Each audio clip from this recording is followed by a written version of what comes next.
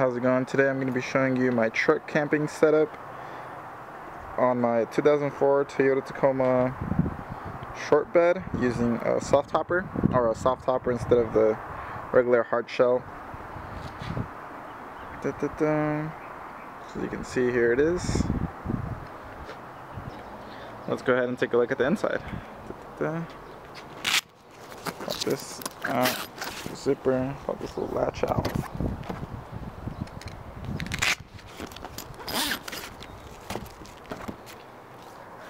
And then using this, these little hooks on both sides, you could roll this up and tie it down with this, but I'm just gonna be throwing it up for now.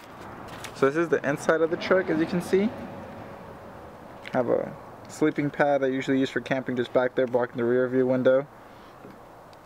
There's like some small set light setups with the control right there. Let's pop this down. That's what it looks like two large drawers in the middle with some open space right here on the left and right side. Just have my hiking boots in here right now, just throw them in there, but it's pretty deep. It goes all the way almost to the end. About half of that about right there. And then it's the wheel well.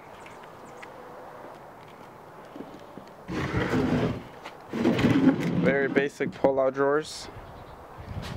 They're about 48 inches long or 54. I want to say. I used the 3 quarters I think or 5 eighths thickness, I forgot exactly what I used. Got some carpet that you could just buy from Home Depot, put it, glued it, and then just screwed these on. It's giving me a little bit of splinter so I just put some tape on here. And then for the frame itself, I did this piece that goes all the way back to the end and I put this one right here on half that sits just on top of the wheel well that you can't see, but it's back there. Same on the other side. And then I just cut this one and then this one slides right in. One thing I would say the drawback of this setup is that because this piece of plywood in the middle is just being held on to literally this, when there's when you're actually sleeping on top, what happens is that this board has bent. So if there's someone laying right here and you try and pull this out, you can't. It just gets jammed right there. So you know the person has to move over to release this and you can pull it out. Um, I would probably recommend putting another one of these. It's right here to kind of help this piece up and it, it won't get stuck. Um, I just didn't do that because I wanted to have an extra inch of space and I figured I could just struggle a little bit. It wasn't that much of a problem for me. Inside right here we have a little light setup. It's really simple.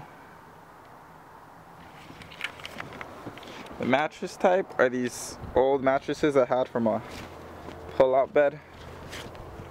Sofa pull-out. There's two of them.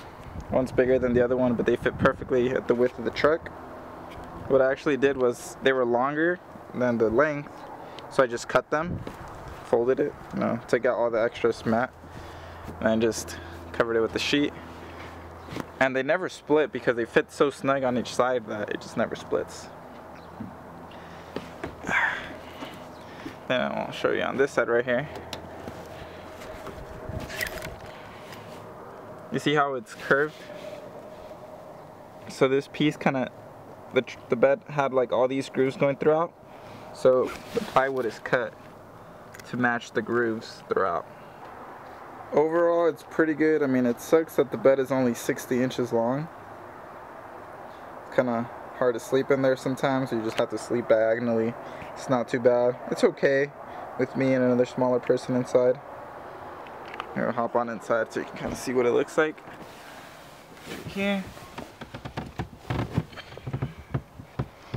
You know, you could just pull out somewhere to a cliff, see the view. Could lay down. It's not too bad. Got the light set up.